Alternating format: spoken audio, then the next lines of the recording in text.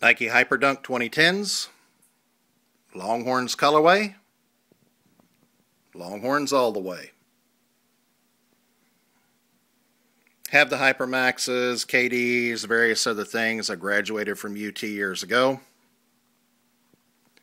So anything that comes in in a burnt orange, I've got to have it. Meant to buy these, oh, a month ago.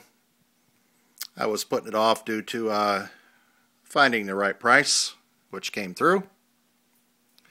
I won't discuss for all those who are going to send me the how much did you pay for them comments what I do. I used to spread some of those things out, but uh, too many of my friends were getting hammered in various different levels, and let's just say that quite often I get deals. I search for them. Help people out, they help me.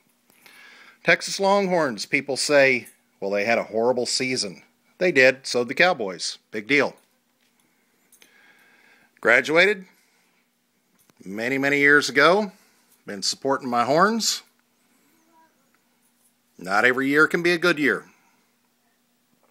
Doesn't mean I'm going to stop supporting them.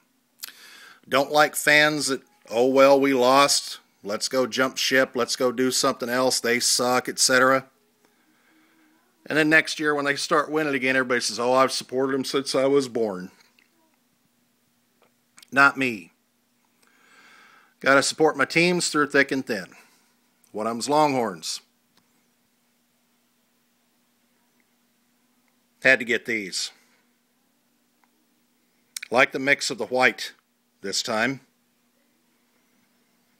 So it's not just a basics orange, a basic orange, so I can talk, and a white swoosh with the key. I really do like the use of the white around the sole.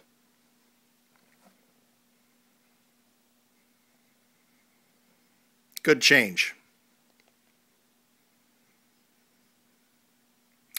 I'm sure Nice Kicks will love these. Alex, you'll probably like them. I think he already said on Twitter he's looking for some if he hadn't got them already.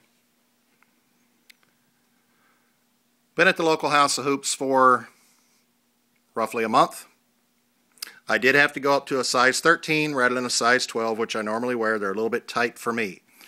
So I recommend on your Hyperdunk 2010s, try them on. You might need to size up just a hair. Just a little more comfortable to go a bigger size. 2010 Hyperdunks, University of Texas Longhorns colorway. Copped.